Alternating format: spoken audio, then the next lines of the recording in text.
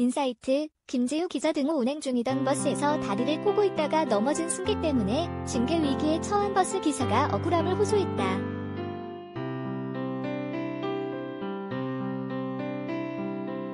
지난 26일 유튜브 채널 한문철 TV에는 버스 의자에서 바닥으로 떨어진 승객, 경찰은 버스 기사에게 잘못이 있다고 하고 보험사는 305만원을 지급했다는데 라는 제목의 영상이 올라왔다.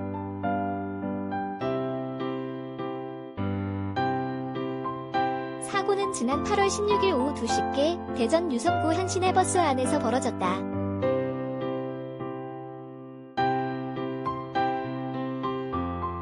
영상을 보면 버스에 앉아있던 한 여성이 버스가 우회전을 하자 바닥으로 떨어졌다. 당시 여성은 다리를 끄고 있었으며 손잡이는 잡고 있지 않았다.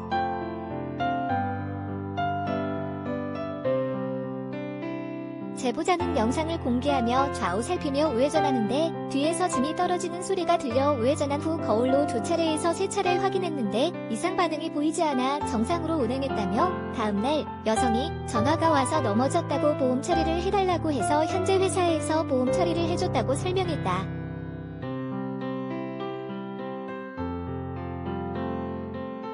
제보자에 따르면 보험금은 305만원이 지급됐다.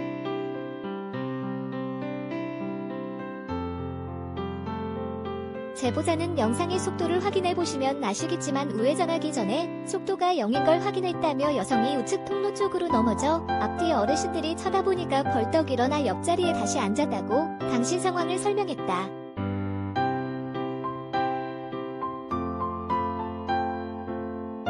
넘어진 뒤 다른 승객의 도움을 받고 일어서는 장면.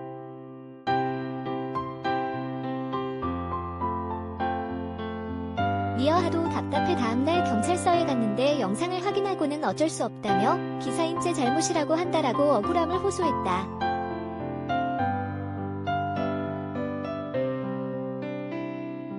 그러면서 회사에서는 10월 28일 징계한다고 출석 통지서를 보냈다라며 조금이나마 가능성이 있다면 끝까지 소송이라도 하고 싶다며 도움을 요청했다.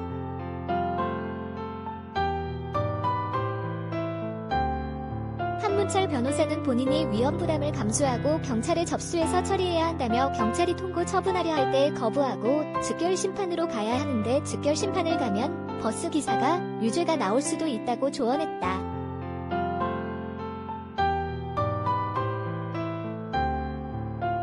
그러면서 벌금 10만원, 벌점 15점이 나올 수도 있다고 말했다.